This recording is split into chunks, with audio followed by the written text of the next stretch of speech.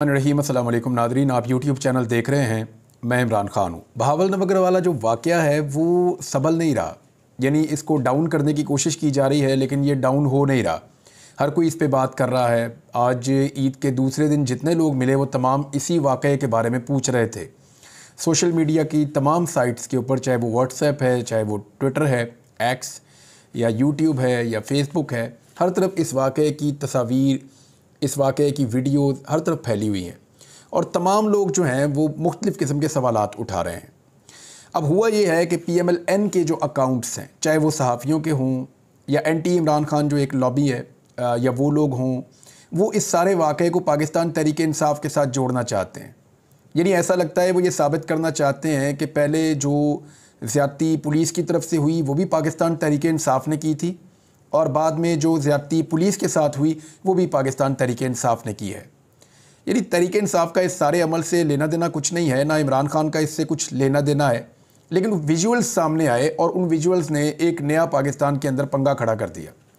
अब कुछ फैक्ट्स हैं, मैं आपके साथ शेयर करता हूँ। जो लोग कह रहे हैं उस बारे में, पाकिस्तान तरीके इंसाफ का मौक़ पहले आप देख लीजिए कि तरीके इंसाफ इसके ऊपर मौक़ ऑफिशली क्या दे रही है। साने बहावल नगर उन्होंने इसको करार दिया। और उस पर तरीके इंसाफ का रद्द अमल। वो ये कह रहे हैं, नौ मई फॉल्स फ्लैग ऑपरेशन के किरदारों का आपस में टकराव पाकिस्तान में मौजूदा लाकानूनीत को मज़ीद अयां करता है, जिसकी लाठी उसकी भैंस, कि जिस कानून पर 25 मई 2022 से अमल दरामद शुरू हुआ, वो आज अजदा बनकर अपने ही बच्चे खा रहा है। लाकानूनीत का ये स्या राज तरीके इंसाफ को तोड़ने के लिए रचाया गया था, लेकिन अब ये रियासत के वजूद को अंदर से चाट रहा है। अवाम की चादर चार दीवारी की पामाली और उन पर तशद का हथियार। रियाती इदारों ने नहायत बेरहमी से तरीके इंसाफ के ख़िलाफ़ इस्तेमाल किया, लेकिन आज खुद इसका निशाना बन गए।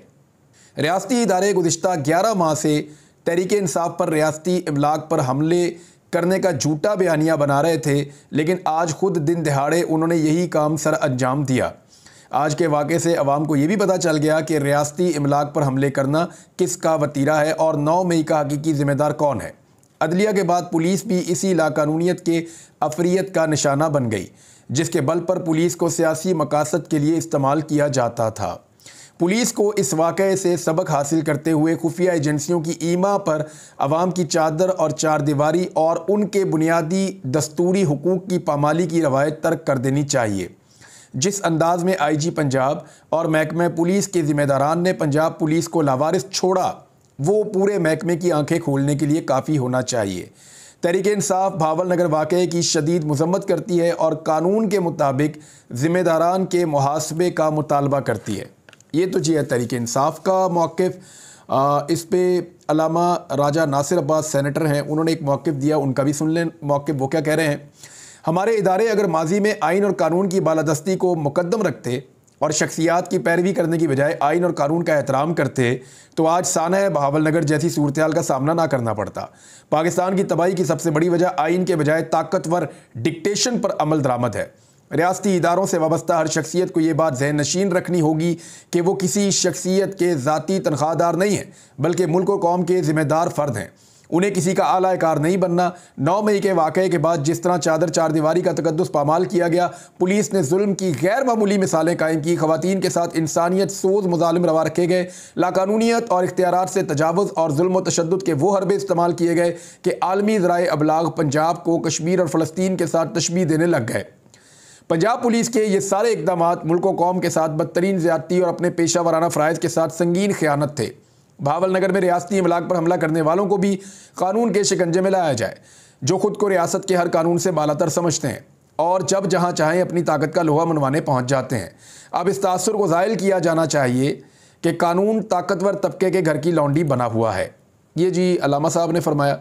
आ, उसके अलावा जो है वो हमाद अदर साहब का एक स्टेटमेंट है इसी मामले में और वो भी बहुत इंपॉर्टेंट है। लेकिन मैं एंटी इमरान खान सहाफ़ी अच्छा मैं सहाफ़ियों को ना दो कैटेगरीज में आज डिवाइड कर देता हूँ। मैंने बहुत सोचा कि मैं बाद किसी सहाफ़ी को कहता हूँ कि ये नून लीग के बहुत करीब है तो वो पीपल्स पार्टी की भी तारीफ़ कर देते हैं। तो अब मुझे जो फाइनली समझ आया है कि सहाफ़ी दो किस्म के हैं पाकिस्तान में, इस वक्त। यानी तीन किस्म के हैं, तीसरी किस्म के तो बहुत ही थोड़े रह गए हैं, जो अपने आप को आज भी ये कहते हैं कि हम जी इसके खिलाफ भी बोलते हैं, इसके खिलाफ भी बोलते हैं, वो तो बहुत थोड़े हैं। एक्चुअली सहाफ़ी जो हैं, वो लाइन के इधर या इधर आकर खड़े हो गए अब सहाफ़ी दो किस्म के हैं, या तो प्रो इमरान खान है, जो ये कह रहे हैं कि इमरान खान के साथ ज़्यादती हुई है जो कुछ किया गया इलेक्शन में वो गलत हुआ है, जो ज़्यादतियाँ हुई वो उनके खिलाफ बोल रहे हैं।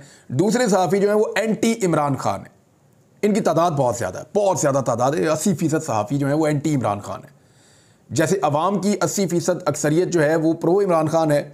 जो सहाफ़ी हैं उनकी अस्सी फ़ीसद अक्सरियत जो है वो एंटी इमरान खान है। ये मैं मेन मेन लोगों की बात कर रहा हूँ वर्कर सहाफ़ियों की बात नहीं कर रहा।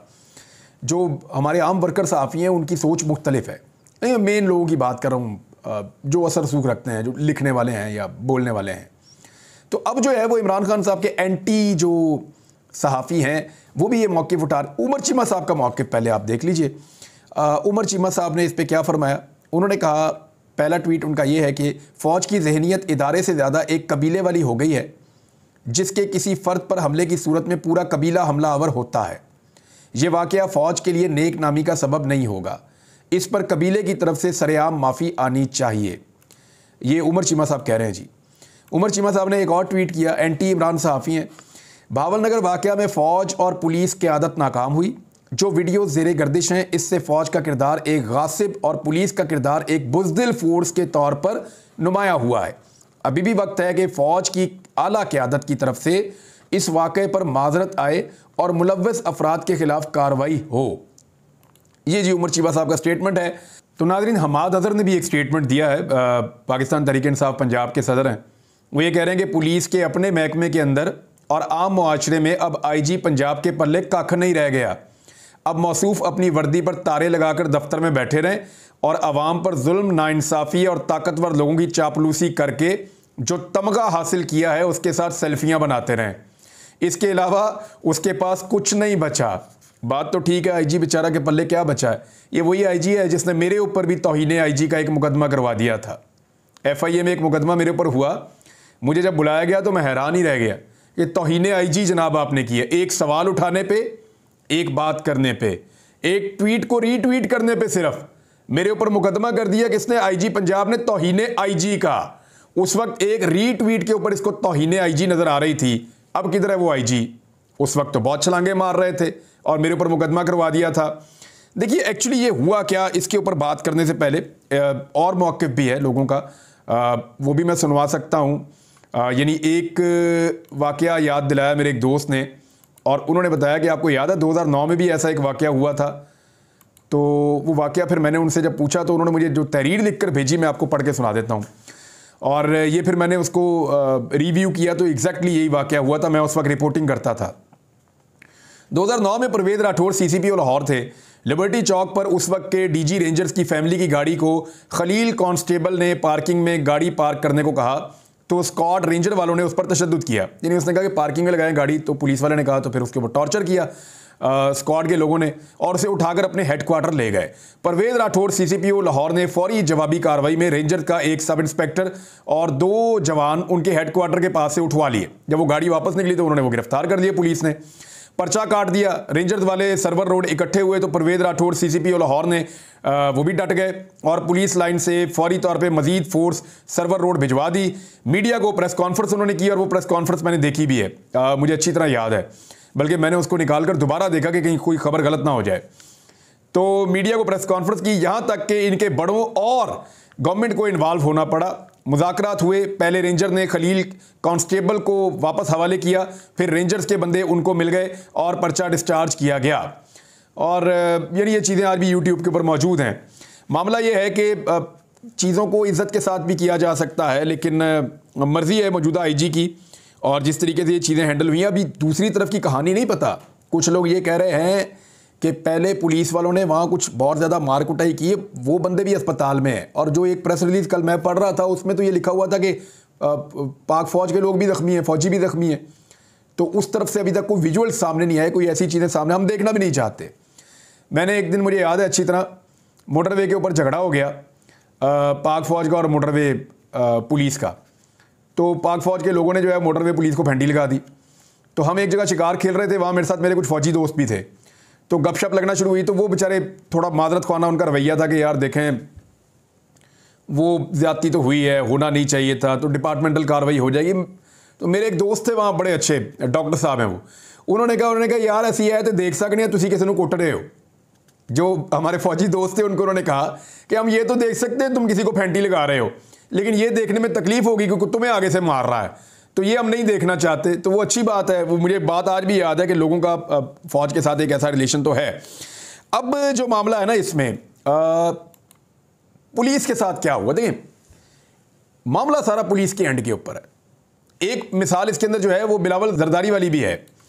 आपको याद होगा कि कराची में एक इंसिडेंट हुआ था। कैप्टन सफदर ने छलांगे लगाई थी।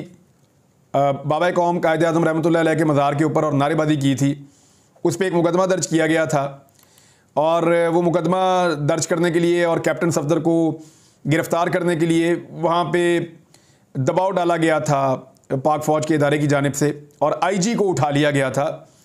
और सिंध पुलिस ने इस्तीफ़े देना और छुट्टियाँ लेना शुरू कर दी थी और बिलावल जो है, वो बिलावल और उनकी सिंध हुकूमत जो है, वो पूरी ताकत के साथ सिंध पुलिस के साथ खड़े हो गए थे। फिर उसके बाद जनरल बाजवा को एक्शन लेना पड़ा था और आज वज़ीर अला पंजाब और वज़ीर अजम वो किधर गए? ये सवाल उठाया है पाकिस्तान पीपल्स पार्टी के एक साहब ने। मोहम्मद अदील उनका नाम है। उन्होंने ये सवाल उठाया कि जब बिलावल खड़ा हो गया था अपनी पुलिस के साथ तो मरीम नवाज़ और शहबाज शरीफ किधर गायब हैं? बहरहाल ये उनकी बात है, लेकिन मैं मामला पुलिस का बताता हूँ। देखें, पुलिस आला कार बनी एक गलत काम करने के लिए पाकिस्तान में।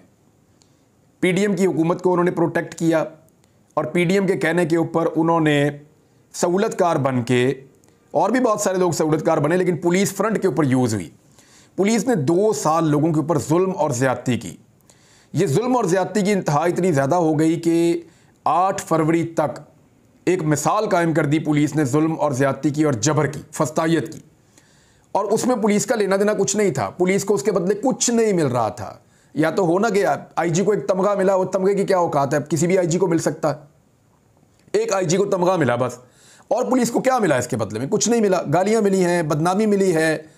जो कुछ पुलिस ने किया, जो गैर कानूनी किया, जो चीज़ें गैर कानूनी की, जो चीज़ें गलत की, जो रोज़ाना अदालत के अंदर जाकर साबित होती हैं, यानी मेरे ऊपर पुलिस ने बम डाल दिया। मैं आपके सामने बैठा हूँ, साफ़ी हूँ मैं। मेरे ऊपर पुलिस ने डाल दिया कि मैंने बम मारे हैं, बना बना के पुलिस वालों को। अब इसी तरह के मुकदमे, अब मुझे क्यों यकीन ना आए बाकी लोगों की बात के ऊपर कि हमारे ऊपर झूठा मुकदमा पुलिस ने बनाया? और जब मैं खुद विक्टम हूँ, जब मेरे ऊपर ही पुलिस ने बम डाल दिया है कि मैं बम बना के मार रहा हूँ तो बाकी जिन लोगों पे बम डाले हैं पुलिस ने, जब वो मुझे आके कहेंगे, जी अब हमारे ऊपर भी ऐसे ही डालें जैसे आप पे डालें तो मैं उनकी बात पे क्यों ना यकीन करूँ? तो इस तरह पुलिस ने अपनी इज़्ज़त, जो रही सही थी, वो अवाम की नज़रों में ख़राब की है। पुलिस को ये सोचना होगा कि क्या उन्होंने इसी तरह अपनी इज़्ज़त ख़राब करनी है? उनके आईजी ने तो फैसला कर लिया है कि वो इससे बड़ी सीट उसको मिल नहीं सकती। वो इस सीट के ऊपर मैक्सिमम टाइम तक रहना चाहता है। मेडल उसको मिल गया है। उसका क्या जाएगा? वो रिटायर होकर घर चला जाएगा। वो परवेज राठौर की तरह तो नहीं हो सकता या किसी और आईजी की तरह तो नहीं हो सकता। अब ये जो आईजी की कमज़ोरी है या आईजी की जो मजबूरियाँ हैं, इनकी वजह से अगर पुलिस का मोराल डाउन जाए या पुलिस की बदनामी हो तो ये पुलिस के सोचने की बात है। मेरे ख्याल में इदारों को ये चाहिए। इदारों में बैठे हुए जो बड़े लोग हैं, उनको ये चाहिए। चाहे वो फौज का इदारा है, चाहे वो पुलिस का इदारा है, कि वो इस मामले के ऊपर इस तरह मट्टी डाल के इसको ख़त्म नहीं कर सकते। बाकायदा इसके अंदर इंसाफ होना चाहिए और इसके अंदर जिन्होंने गलत किया, उनका एहतसाब भी होना चाहिए कि जी ये गलत हुआ, ये ठीक किया। जहाँ पुलिस ने गलत किया, पुलिस को सज़ा मिलनी चाहिए। जहाँ पे पुलिस के साथ ज़्यादती हुई, वहाँ पे दूसरे फरीक को सज़ा मिलनी चाहिए। होना तो यही चाहिए। और इसके ऊपर इंस्टीट्यूशन को आगे बढ़ना चाहिए, इससे कोई छोटा नहीं हो जाता। नादरीन, टिकटॉक मेरी नज़र से गुजर रहे थे, एक बड़ा अजीबो गरीब टिकटॉक मैंने अभी देखा है, उसमें पता चला है कि मरियम नवाज़ पाँच सौ रुपये वाला सूट पहनती हैं। यानी मैं तो हैरान ही हो गया हूँ। पाँच सौ रुपये वाला सूट तो पाँच सौ में तो बच्चे की निकर भी नहीं आती आजकल। आप बाज़ार में जाकर देख लें, जो टी शर्ट और निकर पहनने वाले बच्चे हैं, उनका वो छोटा सा सूट जो होता है, वो पाँच सौ का आजकल नहीं मिलता। ये किस दुनिया में रहते हैं? ये कहाँ से आ गए हैं ये लोग? यानी ऐसी बात करते हैं, बंदा सर पकड़ के बैठ जाता है कि पाँच सौ छः सौ वाला सूट मरियम नवाज़ पहनती है। फॉर गॉड से एक यार। वो खुदा दा ना लवो पाँच सौ छः सौ वाला सूट है, यानी इतनी तो सिलाई नहीं होती आजकल सूट की। हज़ार रुपये से ऊपर से दर्दी आजकल सिलाई ले रहा है। तो ये पाँच सौ छः सौ वाला सूट कौन सा है जो मरियम नवाज़ पहनती है? किसी भी दुकान पर चले जाएँ, इतने का तो सूट ही नहीं मिलता मेरे ख्याल में। तो बहुत ही अजीब अजीब बातें कर रहे हैं टिकटॉक के ऊपर। वफादारी के चक्कर में ना टिकटॉक बनाने के चक्कर में इन्होंने बेड़ा गर्क कर दिया। जो जितनी भी गवर्नेंस है, उसका सारे का सत्यानाश किया, सिर्फ़ टिकटॉक के चक्कर में कि एक विजुअल अच्छा बन जाए, चलता हुआ कोई प्यारा लग जाए, कोई बैठा हुआ प्यारा लग जाए। किसी के सामने से ड्रोन कैमरा गुजर जाए, कोई कैमरा इधर से निकल जाए, कोई कैमरा बगल में से निकल के आ जाए, कोई कैमरा पर्स के पास से जूम आउट हो जाए, अजीब व गरीब किस्म की हुकूमत बनी है और टिकटॉक के मज़ाक ये इस मुल्क के अंदर कर रहे हैं। वो टिकटॉक से ना लोगों ने आपको वोट डालना है, ना टिकटॉक से लोगों ने आपको जो है आपकी कारकर्दगी को सराहना है, ना टिकटॉक से आपकी छीनी हुई मकबूलियत आपको वापस मिलनी है। वो तभी वापस मिलनी है जब नवाज़ शरीफ साहब ने आकर कहना कि मेरे से गलती हो गई, मैंने डील कर ली थी मैं अपनी गलती तस्लीम करता हूँ। मेरे पास मैंडेट नहीं है। मैं अपनी दोनों हुकूमतें कुर्बान कर रहा हूँ। मैं आवाम के पास जब दोबारा आएगा मौका, आवाम के पास जाऊँगा और जाके इकतदार के लिए लोगों से वोट मांगूँगा। फिर तो मुझे लगता है कि शायद इज़्ज़त बहाल होना शुरू हो जाए। वैसे मुझे नहीं लगता। अब एक नया बयानिया आएगा नादरीन उस पर ज़रा आप गौर कीजिएगा। और वो महँगाई के बारे में एक बयानिया तैयार किया जा रहा है। अगले वीलॉग में बताता हूँ वो क्या बयानिया तैयार किया जा रहा है। अब तक इतने अपना ख्याल रखिएगा अपने चैनल का भी। अल्लाह हाफ़